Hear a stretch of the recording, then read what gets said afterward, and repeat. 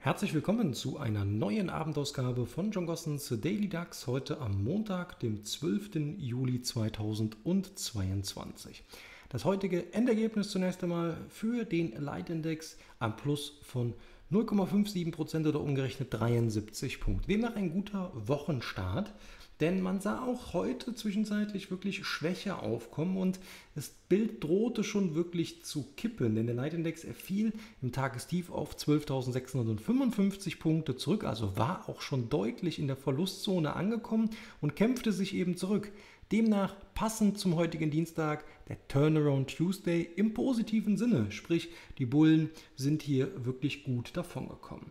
Damit haben wir auch ein weiteres mögliches Konsolidierungstief, nämlich mit dem heutigen Tagestief, welches erst einmal als wichtige Unterstützung fungiert. Bricht 12,650, werden wir wohl auch nochmals in Richtung 12,450 tendieren. Kann man 12,650 halten, dürfte der Leitindex vermutlich nochmals Richtung 13.000, 13.050 Punkte ansteigen.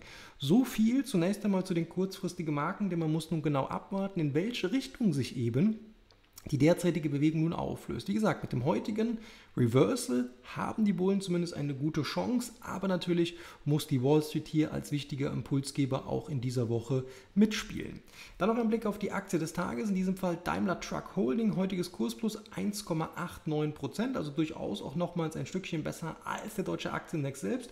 Und wir sehen hier das rückblickend eben eine wichtige horizontale Unterstützung bei ca. 23 Euro. Sie wurde mal ganz kurz unterschritten, aber auch schnell wieder zurückerobert und und das ist eben auch von großer Relevanz zunächst einmal hier, dass eben hier eine mögliche technische Erholung nun in die Wege geleitet wird. Diese ist und bleibt auch möglich oberhalb der Marke von 23 Euro.